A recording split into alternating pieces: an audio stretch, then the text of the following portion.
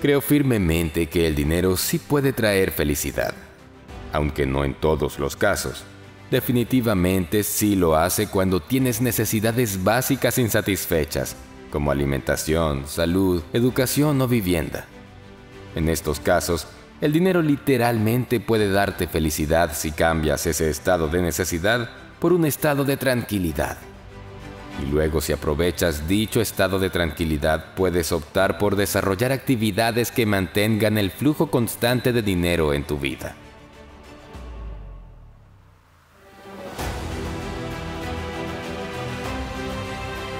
Creo, además, que tener más dinero no te hará feliz si no tienes la educación financiera adecuada.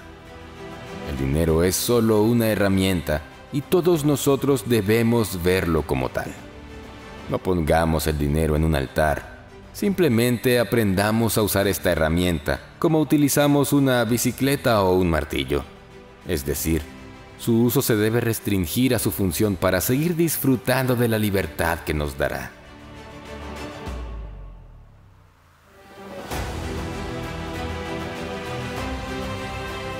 Voltaire dijo claramente, no pienses que el dinero lo hace todo o acabarás haciéndolo todo por el dinero. No es bueno amar el dinero, pero tampoco es bueno odiarlo. Es por ello que me he propuesto intentar enseñar a todo aquel que quiera aprender cómo tener una relación saludable con el dinero y poder controlarlo, y así generar abundancia en su vida. Empecemos.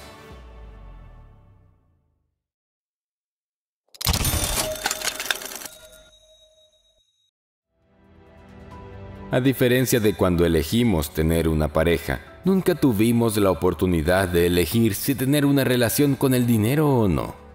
Sin embargo, para nuestra fortuna o desagrado, estamos en una época en la que probablemente el cómo manejemos nuestra relación con el dinero podrá determinar muchos de los aspectos de nuestra vida. Esta es una relación muy particular porque no admitirá un divorcio o separación como suele ocurrir entre los seres humanos. Pero si sabemos cómo manejarla, podrá darnos muchas herramientas y felicidades.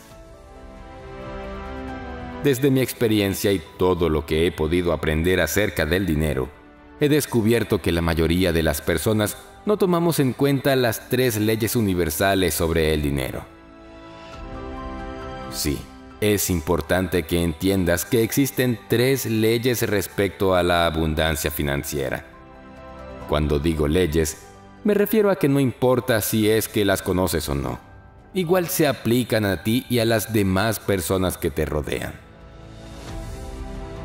Estas leyes serán vitales para saber cómo manejar tu dinero, cómo hacerlo crecer y finalmente cómo es que éste te ayudará a corto, mediano o largo plazo. Primera ley del dinero. Ganar más dinero del que gastas. Esta es la ley más obvia de todas, pero también la menos común. La mayoría de las personas no ganan más dinero del que gastan por lo que no son capaces de generar ahorro y por tanto no pueden invertir ni hacer que su dinero trabaje por ellas. En esta ley tienes tres opciones. Ganar más dinero. Debes ver formas de generar ingresos adicionales, ya sea trabajando horas extra, consiguiendo un nuevo empleo, emprendiendo a tiempo parcial o de otra forma creativa gastar menos dinero. Debes ver opciones de recortes de gastos innecesarios o no primordiales, como los gastos hormiga, los gastos excesivos en entretenimiento y otros de los que podrías prescindir. Ambas. La situación ideal es esta, que puedas reducir algunos gastos e incrementar tus ingresos para poder generar aún mayores excedentes. Lo que sucede normalmente en nuestra sociedad es que la mayoría de las personas sube su nivel de vida al mismo ritmo que sus ingresos. Esto al final siempre acaba determinando el futuro financiero de una persona. Segunda ley del dinero. No depender de una sola fuente de ingresos. He visto a personas pasar de vivir una vida llena de lujos a no tener dinero suficiente para comer. También he visto cómo, ante un cambio inesperado o una crisis económica, se ven obligadas a dejar de lado el tipo de vida al que están acostumbradas. No esperes a que esto te suceda para aprender la lección. No importa si tienes un gran negocio o si tienes el trabajo de tus sueños. Que estos no sean tu única fuente de ingresos. Debes buscar siempre diversificar los ingresos en tu vida.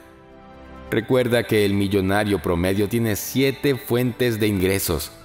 Y esto sucede por un motivo. Cuanto más dependas de una sola fuente de ingresos, más fácil será que rompas la ley número uno. Porque apenas la pierdas, estarás gastando más dinero del que ganas. Mi sugerencia para esta ley es que no te enfoques en construir muchas fuentes al mismo tiempo. Concéntrate en construir una a la vez. Y cuando ya esté consolidada, pasa a la siguiente y así sucesivamente. Tercera ley del dinero. Invertir tu dinero. La única forma de dejar de trabajar por dinero es tener un flujo constante de ingresos que no requieran de tu tiempo o que sea poco el tiempo que le dedicas a este. Esta es la tercera ley que debes entender y conocer. Es en realidad una habilidad que la mayoría de las personas nunca han estudiado porque piensan que invertir es equivalente a apostar. Pero confío en que la información que estás aprendiendo te ayudará a comprender mucho mejor no solo tu situación, sino los pasos que tienes que seguir aprendiendo para llevar tu vida financiera a un siguiente nivel.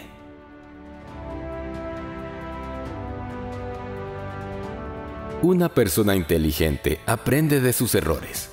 Una persona sabia Aprende de los errores de los demás.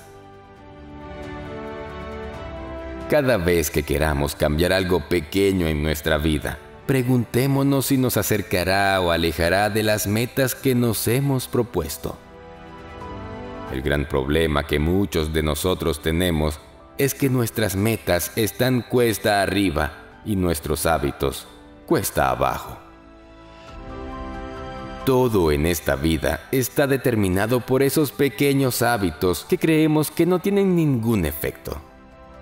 La oportunidad de cambiar está en ti. Toma la decisión.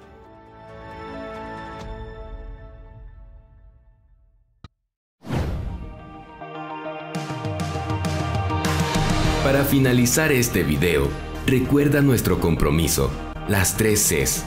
Comenta, comparte y crea.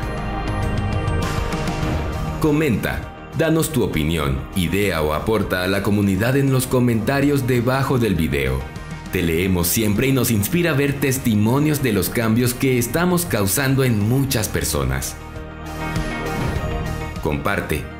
Ayúdanos a que más personas conozcan estos conceptos. Comparte el contenido con tus amigos, conocidos y en tus redes sociales. Y crea. Utiliza lo aprendido para crear algo magnífico para tu vida. Por tu éxito, hasta el próximo video de Financial Mentors.